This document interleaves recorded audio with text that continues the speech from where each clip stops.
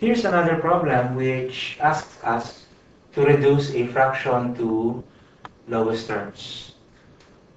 What we will try is to first look for the factors for the numerator and then for the denominator and then cancel out common factors.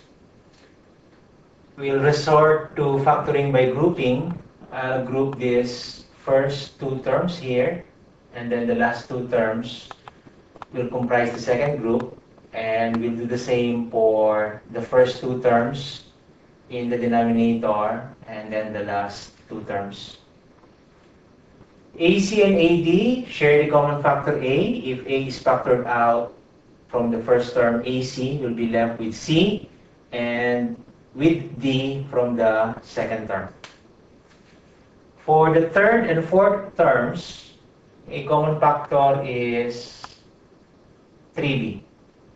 So if 3b is factored from this term, we'll be left with c, and from this term, we'll be left with d. We'll proceed in the same manner in the denominator. Common factor for these two uh, terms is uh, c. You'll be left with a in the first term and 3b in the second. For the last two terms, a common factor is uh, negative 2d. If negative 2d is factored from here, we'll be left with a. And from here, positive 3b. Now, if you consider this as the sum of these two terms, these two terms share a common factor quantity c plus d. If you factor c plus d from this first term, you'll be left with a. And from the second term, you'll be left with 3b. If you inspect these terms in the denominator, you will notice that a plus 3b is a common factor. We factor out a plus 3b,